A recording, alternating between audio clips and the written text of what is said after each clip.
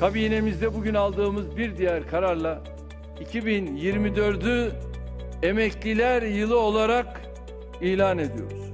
Erdoğan 2024'ü emekli yılı olarak ilan etmişti. İşte şimdi düğmeye basıldı. Beklenen düzenlemelerin detaylarına içeriğimizde bakalım. Cumhurbaşkanı Erdoğan bu yılı emekliler yılı ilan ettiğinde kimileri gülüp geçmişti. Ancak Erdoğan sözünü tuttu. Emeklilere faturadan ulaşıma kadar 7 destek birden geliyor. Milyonlarca emeklinin gelirini artıracak düzenlemeler için start verildi. Nisan ayıyla birlikte meclise gelmesi planlanan 7 destek emeklilerin hayatını kolaylaştıracak, gelirlerini artıracak. Başta Çalışma Bakanlığı olmak üzere birçok bakanlık bu konuda çalışmalarını sürdürüyor. SSK, Bağkur ve Emekli Sandığı mensubu tüm emeklilerin faydalanacağı paket için belediyeler ve bankalarla protokoller hazırlanıyor. Bu kapsamda su faturalarında şehir içi ve şehirler arası taşımada indirim uygulanacak. Doğalgaz, elektrik ve kira için yardım uygulaması planlandı. Emeklilere banka hizmetlerinde kolaylık sağlanması için protokoller yapılacak.